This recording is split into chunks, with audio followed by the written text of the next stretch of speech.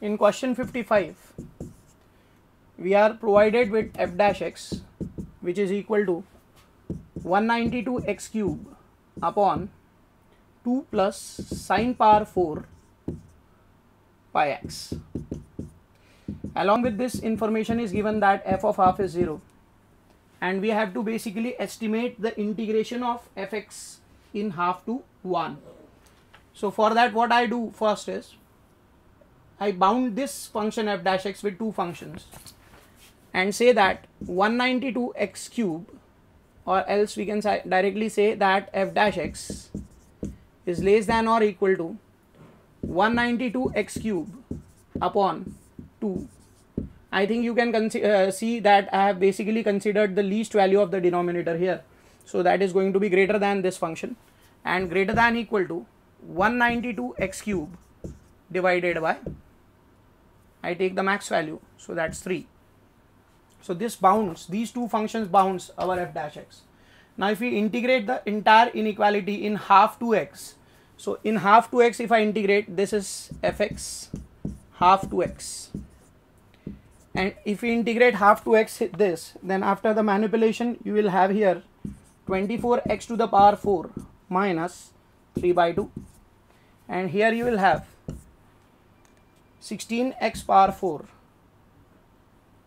minus 1. So if we put the limit here, we have got fx greater than equal to 16x power 4 minus 1 and less than equal to 24x power 4 minus 3 by 2. So we have basically what we have achieved in this is we have found two functions which are bounding fx.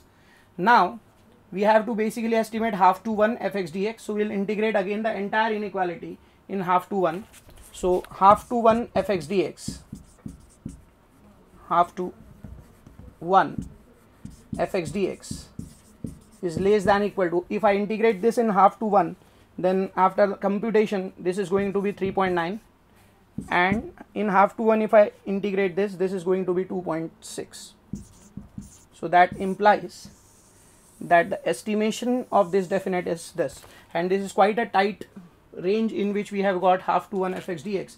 Now if we see options carefully it's quite obvious that only option D can be assumed to be the correct option the rest all are not.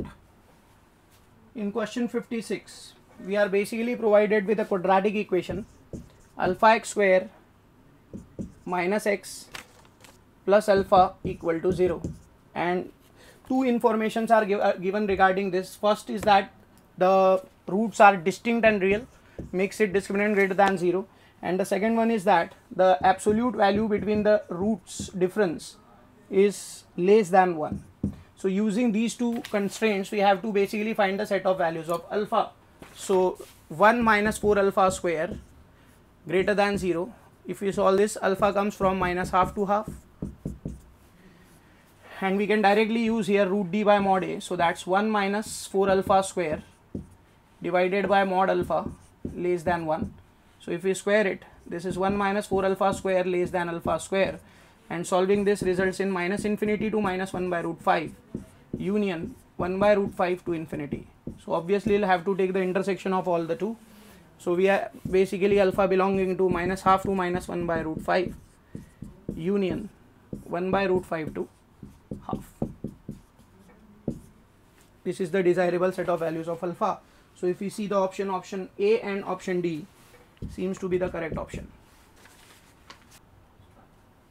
In question 57 we are given capital function capital F R to R.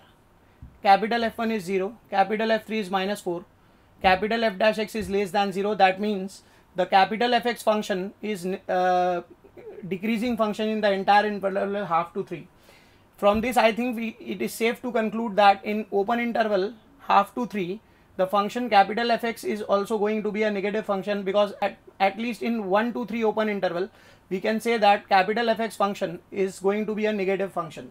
Because at 1 the value is 0 and at 3 the value is minus 4 and the function is decreasing as the derivative is negative. So we can say that in the interval 1 to 3 capital Fx is negative. That is an immediate observation that comes as we see the question.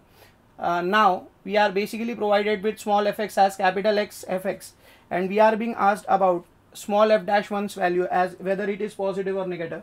So we just differentiate the function. F dash x becomes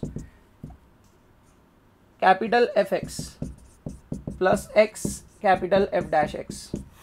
Now they are asking us about the value of small f dash 1 so if i put small f dash 1 that is capital f1 plus capital f dash 1 now obviously this quantity is a negative quantity and as I had told you f1 is itself given to be 0 so therefore small f dash 1 has to be a negative quantity. So that's easy to understand.